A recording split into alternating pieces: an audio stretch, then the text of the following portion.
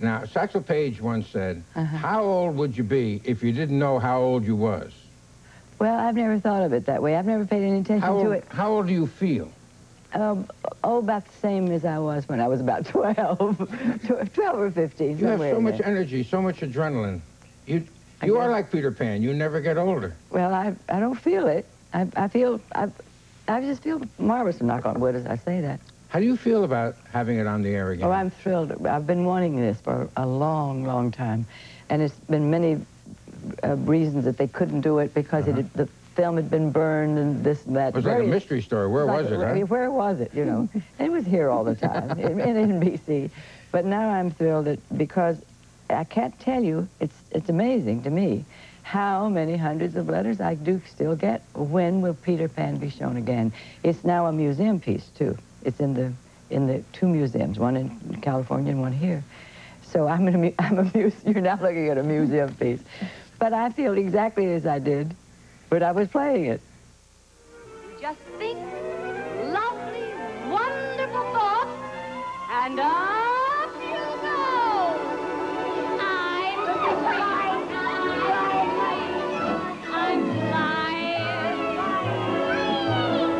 Look at me, way up high, the here am I, I'm flying. Do you remember the first time you flew? The very first time they put that on you, that mm-hmm. harness? I, I, I never wanted to come back down. You never had any fear. Never? Never, never, never. And I had an awful lot of strange, strange things happen. Tell me a strange thing. Well, one strange thing, flying one afternoon, mat- matinee. I wasn't there anymore. Nobody could find me, including me. I hadn't the vaguest idea where I was. And I was up in the top of the, of the theater. you mean you just flew right up there? and hooked on something.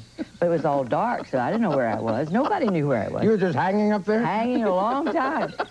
So finally they said, Miss Martin, where are you? And I could hear it vaguely because it was miles up, you know, way up there where all the ropes and everything. I'm hanging on some rope up there.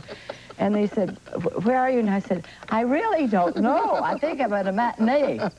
And they said, well, we can't find you. So they looked, and then finally they sent for the fire department. And the fire department came with all the ladders and everything, and finally went to clear to the top, and there I'm hanging on the, on what, I don't know.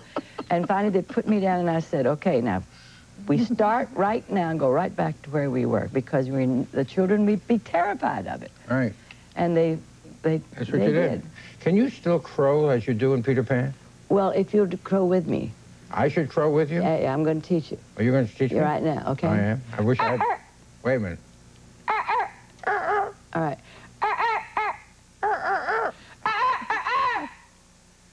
That's Mary Come Martin. on. Yes. But you see, you have plenty to crow about. That's what's so nice. Does Peter Pan have a message? Uh, yes, I think uh, when, when, when Captain Hook said, Peter, who and what are you? And Peter said, I am youth, I am joy, I am freedom. That's what Peter Pan is. That's what life is about.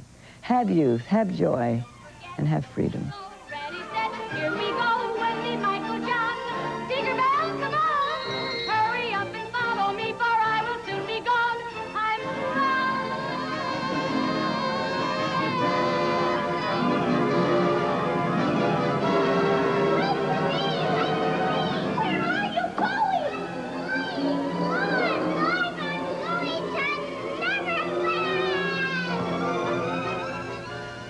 Once more, without me, will you do our Peter Pan crow?